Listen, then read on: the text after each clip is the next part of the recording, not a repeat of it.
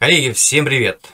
С вами Халепа Евгений, трейдер и финансовый аналитик. В этом видео мы с вами поговорим по поводу а, американского доллара. Посмотрим на него широко, посмотрим на основные детерминанты а, а, с точки зрения фундаментального и технического анализа, взглянем на этот рынок. Что хотелось бы сказать, вчера прошло совещание ФРС, заседание ФРС. ФРС выпустила свои свежие оценки, прогнозы по ВВП, инфляции, безработице, ставкам на этот и последующие годы. Э, да, кстати, сегодня четверг, э, выпуск для спонсоров выходит по четвергам. Подписаться на спонсорский канал вы можете, перейдя по платежному боту, но есть одно но. Для россиян нужно писать в личку, потому что не все так просто теперь в наши дни. Поэтому есть способы, как оформить подписку. А, кому принципиально, пишите в личку, в телеге. Ссылку я на личку оставлю в описании к этому видео. И а, мы можем пообщаться на эту тему. А вот, вышли вчера да, данные по прогнозы ФРС, повышенные прогнозы по инфляции, по ставке. Сейчас мы это все с вами разберем, посмотрим. Самый главный вопрос, да, что происходит с долларом – когда повышается ставка. Ну, по-моему, очевид, очевиден ответ, да, конечно, доллар укрепляется. А вот. А, ну и а, риторика Пауэлла на, пресс, на пресс-конференции, на мой взгляд, была достаточно жесткая, о чем тоже мы поговорим в этом выпуске. Ну что ж, давайте приступим. Начнем мы с вами э, с модели, с моей ценовой модели, которая прогнозирует перспективы котировок э, индекса доллара. Итак, друзья, синяя линия с продлевающей красной – это ценовая модель. К сожалению, а, обновляется она, ну вот так э, глобально раз в квартал, потому что входит в нее один из базовых, на мой взгляд, эм, показателей из, э, из, из международной макроэкономической теории соотношения двух экономик. Да, я беру, конечно же, антагонисты евро, ЕС и доллар. Э, и эти показатели строятся на данных по ВВП, по дефлятору, то есть это те данные, которые выходят раз в квартал. Я их просто продлеваю, и три показателя меняются ежемесячно. Ну, собственно, что хотелось бы сказать. На февраль месяц месяц э, динамика была очень устойчива. То есть мы видим, что э, торгово-взвешенный индекс доллара, он э, в феврале повторял за моделью. Но в марте уже есть структурные изменения, глобальные изменения. Конечно, спрос пошел. Хотя нельзя сказать, что доллар прям сильно вырос, да, учитывая э, ту коррекцию, которую мы наблюдаем в, э, на этой неделе. Вот, поэтому э, свежая модель будет уже, скорее всего, в следующем выпуске. Я надеюсь, что данные за четвертый квартал уже выйдут полноценно. Пока нету дефлятора в ЕС за, за четвертый квартал, только за третий. Поэтому вот такая вот история запаздывающая. Ну, э, получим свежие данные, будет свежая модель.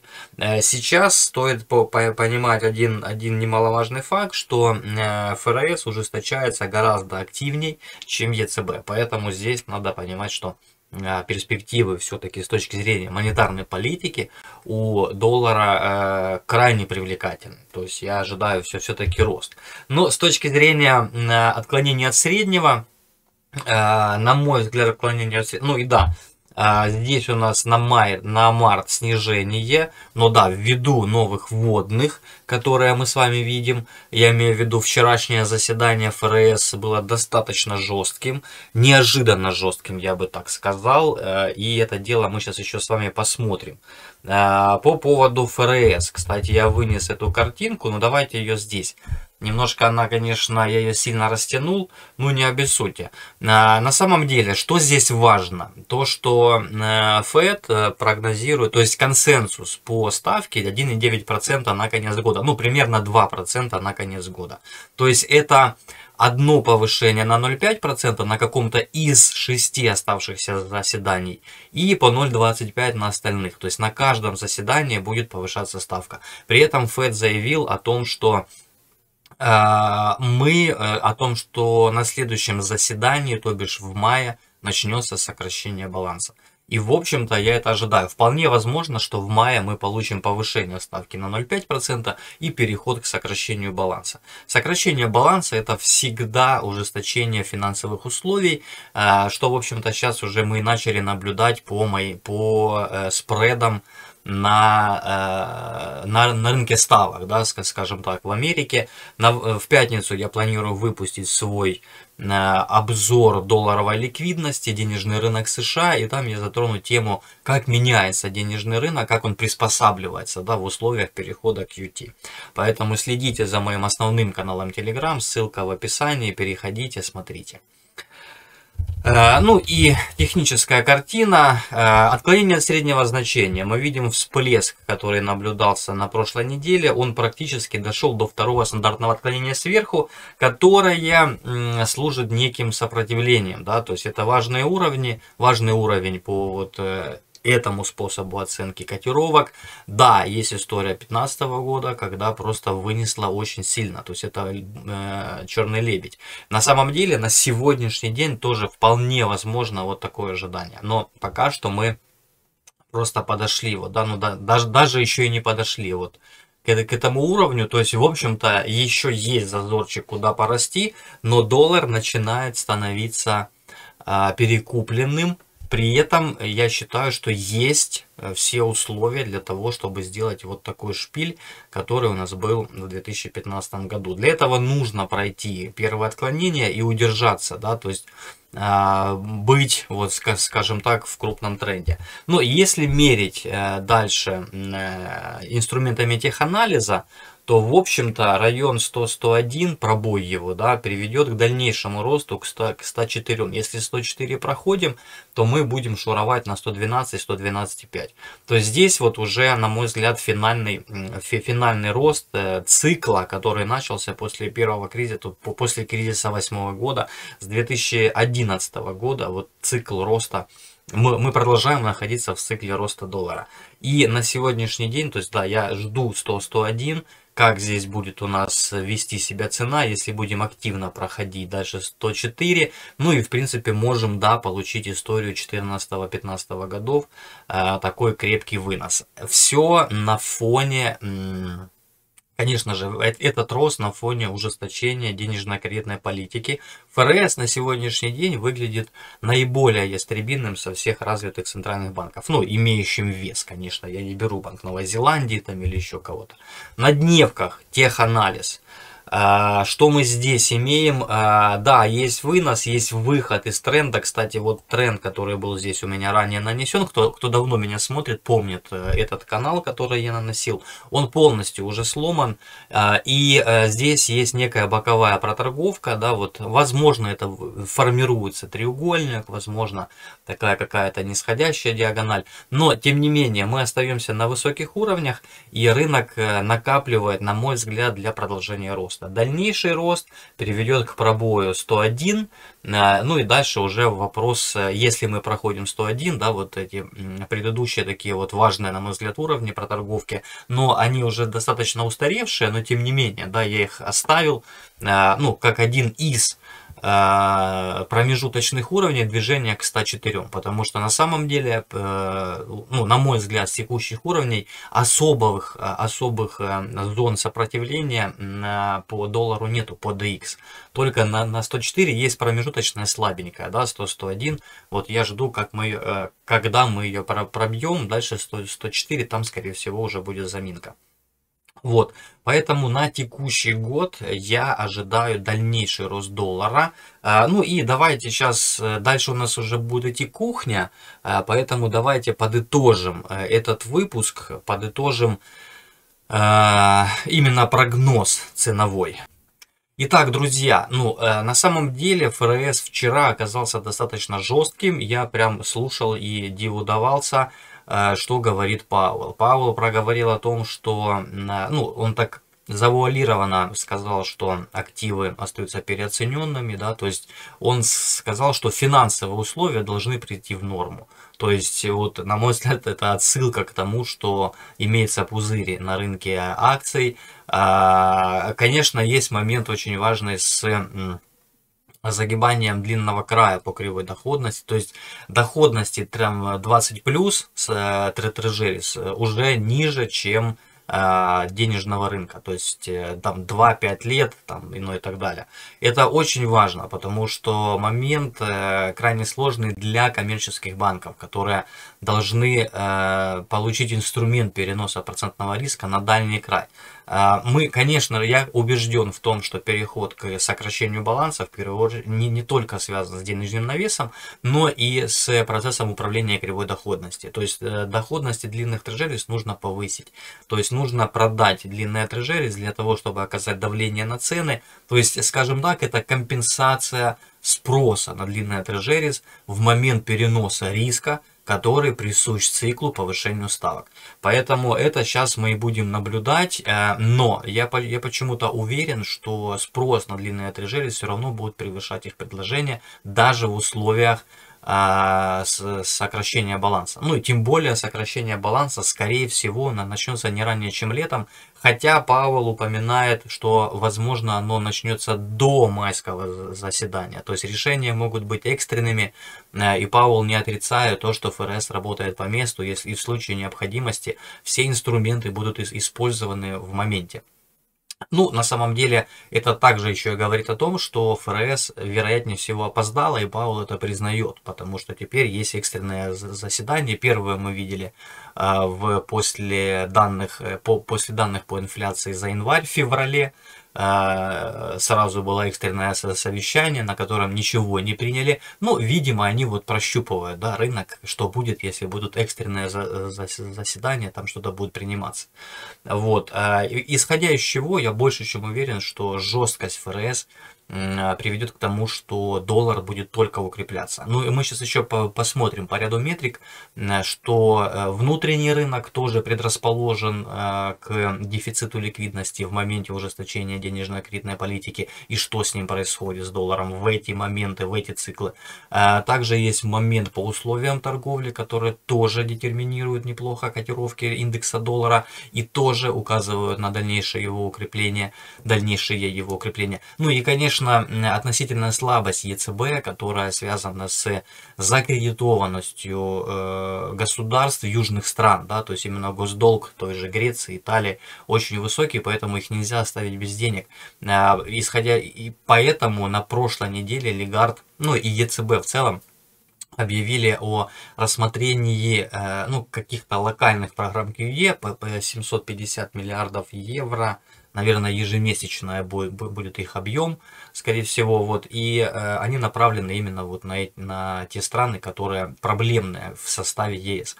Как на это отреагируют северные страны, я думаю, что будет некая конфронтация, но все прекрасно понимают, что э, ну, будет сложно, будет сложно а, не дать этих денег, потому что это будет говорить о э, начале э, даже возможных дефолтах южных стран. Поэтому вот относительная слабость ЕЦБ к ФРС, она, конечно же, в пользу роста доллара, в пользу того, что евро будет слабее. Вот. А, исходя из этого, я э, продолжаю отыгрывать э, тот сценарий, который я нарисовал на, на месячном графике, то есть движение к 112, к 112 500, а, промежуточные уровни 100-101, он еще и важный психологический, потому что круглая дата, да, то есть круг, круглая цифра, 100, ну 100 именно, да, а дальше, после проходки 101, 104 э, у нас там важный уровень. Ну и э, будет не, некая там, скорее всего, заминочка, потому что его пробить будет сложно. Хотя э, к тому времени нужно посмотреть, что это будет. Вероятнее всего, это будет уже в мае после заседания ФРС. До этого, скорее всего, цена будет двигаться постепенно к 104. А, а, ну, вот такой сценарий, на мой взгляд, более-менее вписывается в общий фон. Ну и локально, если говорить уж на дневках, да, то там есть проторговка. Сейчас а, есть ну, некий момент локальной бифуркации, то есть это либо же треугольник, либо же какая-то диагональка вниз АБЦ, да, зигзаг, а, либо более сложные модели и затяжные, да, то есть, ну, я думаю, что весь фон указывает на то, что рынок доллара будет иметь поддержку, поэтому, скорее всего, локальная коррекция будет боковая. Вот, с дальнейшим продолжением, с дальнейшим выходом вверх. Э, ну что ж, друзья, теперь кому интересно, э, это больше даже вот обучающий мой материал, да, уже идет э, по фундаментальному анализу, основные детерминанты курса доллара, которые я использую в своих оценках. Милости прошу, продолжим наш анализ. Итак, первая картинка – это неопределенность денежно-кредитной политики. Есть такой индекс неопределенности денежно-кредитной политики в Америке. А, синяя линия – это годовая его динамика, индекс доллара – также годовая динамика а, также в годовой динамике. На февраль месяц, немного даты нужно исправить, на февраль месяц у нас продолжался рост индекса неопределенности, да, но при этом доллар загнулся. Тогда я писал в своем канале Telegram, когда, когда транслировал эту картинку, что это, на, э, это говорит о недооцененности доллара, и доллар будет еще расти. В общем-то, так в марте мы, мы и получили данное, понятное дело, что на февраль, э, на март данных еще нет, они будут в конце месяца, то есть в, в начале апреля будут данные за, э, за март. Вот, поэтому, э, на мой взгляд, с точки зрения неопределенности денежно-кредитной политики, а, эта неопределенность будет только нарастать, потому что ФРС мало того, что стала более жесткой, чем она была в феврале, так еще и акцентировала внимание на том, что все решения будут приниматься на заседаниях. То есть а, неопределенности в мире настолько много, особенно в, в, с инфляцией, да, что э, заседания могут быть и экстренными, и, ну, и так далее, и так далее. То есть э, ФРС пытается быть максимально гибкой, э, поэтому э, это добавляет еще неопределенности и э, создает, скажем так, спрос на кэш. Э, далее вот любопытная картинка, на мой взгляд, э, пятилетняя инфляция, ожидаемая, и э, индекс доллара, он умножен на минус единицу для наглядности корреляции, то есть чем выше ожидаемая инфляция, тем ниже доллар. Но на сегодняшний день ожидаемая инфляция остается на 20-летних максимумах, но э, при этом индекс доллара укрепляется.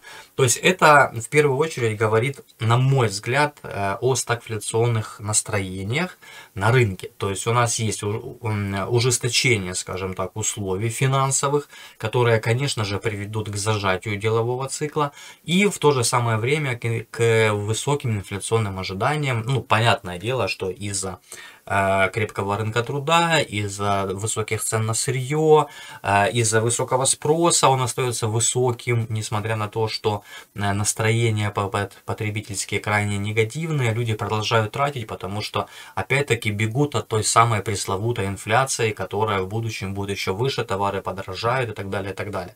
Но в цикле ужесточения денежно-кредитной политики инфляционные ожидания начинают снижаться.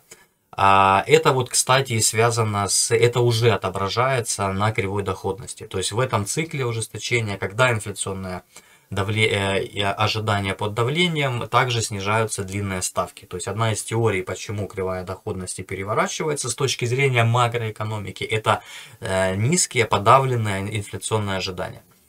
Вот, поэтому э, такие страны, как Япония и ЕС, они занимаются э, контролем кривой доходности, да, то есть они управляют кривой доходности, чтобы она была в нормальном положении, то есть выгнутая, и э, это позволяло зарабатывать э, временную, временную стоимость, да, зарабатывать временную стоимость коммерческим банкам и переносить на еще и процентный риск, если он может появиться, вдруг, вдруг появится. Да.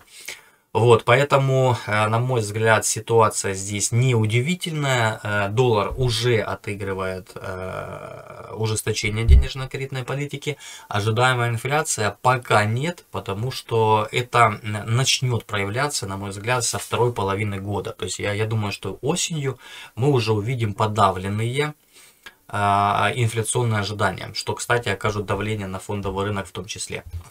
А, ну, эту картинку я показывал. Давайте еще раз пробежимся. Э, сильно понижены Э, годовые темпы роста реального ВВП в Штатах с 4 в декабре до 2,8 до, до 2,8 вот э, в мартовских оценках. То есть, ну, очень су существенно на текущий год. Далее без изменений. Э, рынок труда остается без изменений. Инфляция практически в два раза. Ну, не в два, конечно, там, в там 1,7 раза, 1,6. То есть, в декабре 2,6 на текущий год ПСЕ инфляция. То есть, это инфляция по потребительским расходам до 4,3 Core базовая инфляция с 2,7 до 4,1 тоже существенно. Ну и, соответственно, ставка практически на 1% выросла. Э, это консенсус, то есть медиана. На следующий год 2,8 э, и в 2024 тоже 2,8. Но э, на самом деле я больше чем уверен, что ставка будет выше через несколько лет в районе там 3-4%. Потому что если посмотреть на тот уровень инфляции, который мы имеем на сегодняшний день, ставки должны уже быть в районе там, там 5-8, скажем так. Вот, но посмотрим, как оно будет все получаться. Многое будет зависеть от производительности труда, э, от делового цикла, от внутреннего спроса на деньги и так далее, и так далее. Э, с точки зрения, кстати, вот банковского мультипликатора, это денежная масса к денежной базе, нанесена от года к году, так же самое, как и красная линия, это динамика, э, годовая динамика индекса доллара. Мы видим, что в январе месяце, данные за февраль еще не поступили, в январе месяце у нас э, продолжается рост показателей относительно прошлого года, но ну, не, я имею в виду не рост, я имею в виду эм, э, возврат к нулевой отметке да, то есть у нас по левой шкале э, нанесена динамика банковского мультипликатора, то есть мы еще все еще ниже ноля, но мы приближаемся. В цикле роста ставок, Э, у нас э, всегда банковский мультипликатор растет. Почему? Потому что растет предложение кредита, да, то есть банкам выгодно давать в долг, и поэтому банки более активно предлагают кредит. Ну и, конечно же, в текущих условиях отрицательных реальных процентных ставок, которые еще останутся как минимум на текущий год, э, конечно, спрос на кредит тоже будет устойчивый. Э, то есть и банкам будет выгодно, выгоднее давать, и кредиторам также выгодно брать, не, несмотря на рост ставки. Ну и исторически, да, конечно же, у нас цикл ужесточения денежной кредитной политики, это цикл роста денежной массы относительно денежной базы. С точки зрения э, потребительского сектора тоже выгоднее давать в долг, я имею в виду э, депозиты выгоднее э, размещать, да, потому что ставка платится выше. То есть люди в цикле высоких ставок задумываются, а стоит ли потреблять сейчас, если можно отложить. Поэтому, собственно, эта история история вполне себе уместно логический, ну и исторически мы тоже наблюдаем эти все показатели, да, вот рост ставок, особенно обратите внимание в 2004 какой, какой рост был с 1% до 5%, очень сильный рост ставок а, привел да, вот к росту банковского мультипликатора. Ну и цикл, который был 16 ну, в 14 началось сворачивание QE и пошел рост рост э, банковского мультипликатора. Рост банковского мультипликатора всегда приводит к росту доллара. Но это и естественно, потому что деньги перетекают из состояния более ликвидных денежной базы в менее ликвидную денежную массу. Поэтому э, образуется некий дефицит, скажем так, на валюты, э, ну, долларов, я имею в виду, внутри экономики Америки. Ну и, конечно, снижается предложение денежной базы, потому что ФРС сокращает баланс. То есть это все за ужесточение, поэтому я в, в росте доллара уверен. То есть если брать долгосрочный отрезок, там до конца года, либо там на год вперед, я думаю, что доллар продолжит рост. Ну, конечно, с локальными остановками, коррекциями и так далее. Без этого никак. Э, ну и э, далее реальная доходность активов. Завтра у меня, кстати, выйдет уже свежий выпуск этого этой стороны оценки. Э, я выпущу ее в канале Telegram. Вечером это будет. Э, уже, уже скопились данные. Осталось только получить инфляцию по Японии. И мы сможем построить вот полностью всю корзину. На январь месяц у нас реальная доходность по всем показателям выросла. Япония отдельная история. В Японии играется э, банком Японии играются интервенции для того, чтобы оживить э, деловой цикл через экспортеров. Я это неоднократно говорил, кстати, и я закрыл на этой неделе свой лонг по японцу, но у меня был путами на фьючерс на СМЕ, да, то есть это, э, это на косвенную пару, на японец-доллар, а не напрямую доллар-японец. Поэтому я закрылся, это все было опционами. Ну, раньше времени, да, я это и проговаривал, что уровень 120 20, если брать по прямой паре. Но э, скоро экспирация, через 8 дней, через 9 дней экспирация, поэтому я решил не рисковать. Э, и э, по всем остальным, да, вот есть рост доходности по базовым валютам, э, но при этом у нас э, снижение, да, то есть это все говорит об ожиданиях. То есть мы понимаем, что текущие условия ввиду сильного роста инфляции в США, они э, носят скажем так,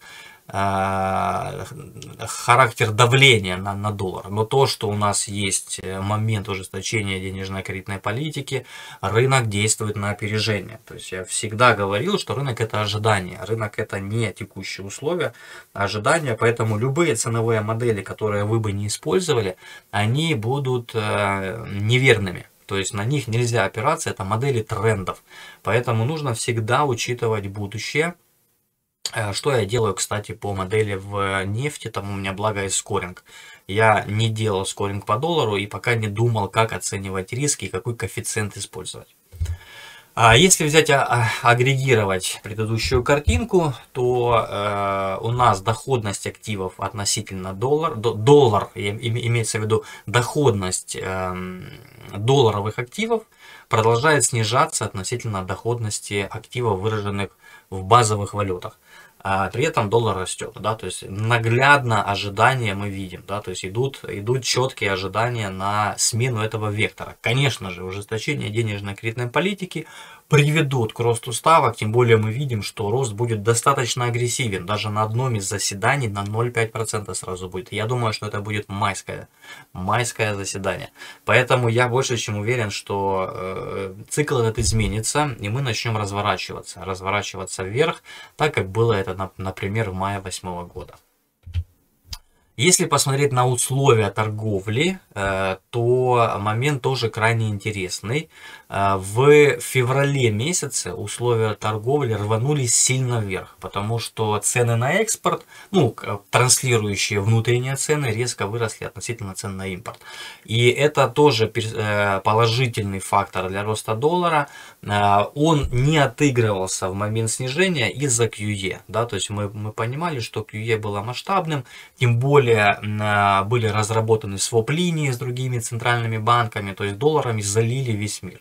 Поэтому дефицита доллара не было. И тогда я указывал, что рост, особенно когда мы начали расти уже в начале января, и переписали исторические максимумы, тогда я говорил, что все это дно доллара, максимум, что я ожидал, движение на, на 108, да, это вот движение к 2018 году, которого даже не произошло. То есть с точки зрения условий торговли есть прекрасные условия для укрепления доллара.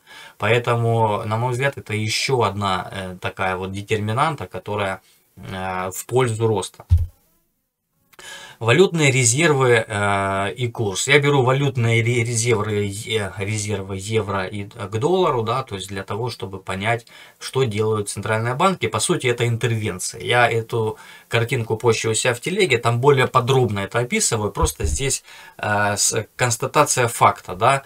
Евро-доллар продолжает снижаться, но соотношение резервов чуть подросло. То есть, на мой взгляд, это история, опять-таки, об ожиданиях. Да, локально, по идее, доллар, э, евро должен был запнуться в снижении. Мы видели его там длительный боковик, да, но он э, вышел да, в дальнейшее снижение. И на мой взгляд, э, надо будет смотреть дальше, как это все происходит, что, что будет происходить в феврале, э, да, кстати, это данные на январь, между прочим, что будет происходить далее в феврале, и если этот показатель будет дальше нарастать, то вполне возможно локально какая-то остановка в росте еще будет, то есть там боковик растянется просто не на там одну-две недели, да, а растянется там на месяц, к примеру, да, и мы увидим месяц, но, но какую-то про, проторговку в бок. Мы, кстати, видели, по-моему, в, феврале такую историю. Доллар там, ну, какое-то длительное, ну и по евро, да, то есть э, длительное время была боковая тенденция. Вот, но не более чем, потому что, опять-таки, ожидания говорят о том, что, скорее всего, э, у нас будет э, так, такая вот история. Ну, еще здесь нужно учесть одну, одну очень хитрую маленькую вещь. Э, в моменты э, ужесточения денежно-кредитной политики э, резервы тратятся. Почему? Потому что это, по сути, денежная масса. Да? То есть э, и происходит некое замещение. Конечно, всех их тратить нельзя, потому что это поддерживает импорт, но происходит некое избавление да, от э, валюты в пользу национальной валюты. И это, конечно же, приводит к росту доллара. Э, ну, к укреплению, да, потому что появляется дополнительный спрос, то есть идет продажа иностранной валюты и покупается национальная валюта. То есть это поддерживает уровень, э, уровень национальной валюты, поэтому я считаю, что цикл цикл вот снижения этого показателя, он только начался и будет продолжаться. Вот на уровне, где-нибудь э, уровня начала 2020 года, вот там уже нужно будет посмотреть. То есть здесь, э, там возможно будет остановка уже роста доллара и снижение евро на, на какой-то длительный период, может там месяц-два, чтобы рынок пришел в себя. Ну и в финале мы, это моя авторская модель оценки индекса доллара, модель настроения, да, то есть это она строится по сотам.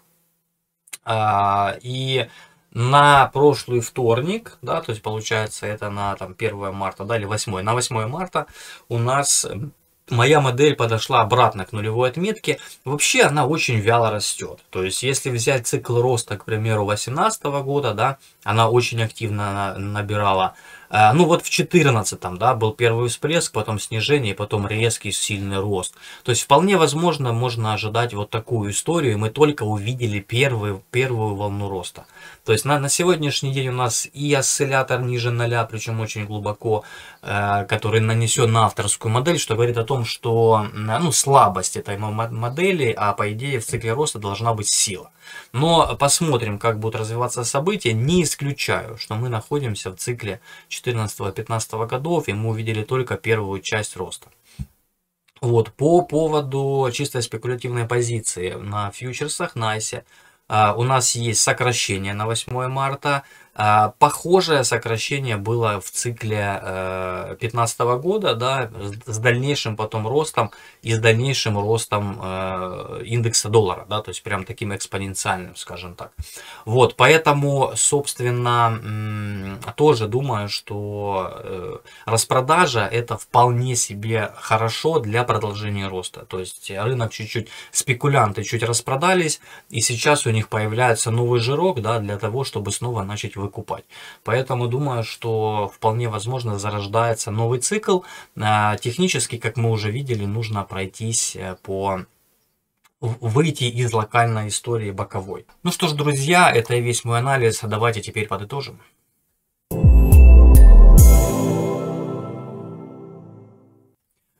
Э, долгосрочно я уверен в своих, э, в росте доллара. На мой взгляд, рост будет хороший, сильный и уверенный со всеми вытекающими. Конечно, это окажет давление на фондовые рынки, на товарные рынки. Вопрос с золотом крайне сложный, потому что золото в, цикле, в этом цикле может тоже себя проявить вместе с долларом. Почему? Потому что, э, ну, во-первых, трежерис да, будут э, хромать, они будут снижаться в цене, э, и поэтому спекулятивный спрос на них будет ну, снижен естественно.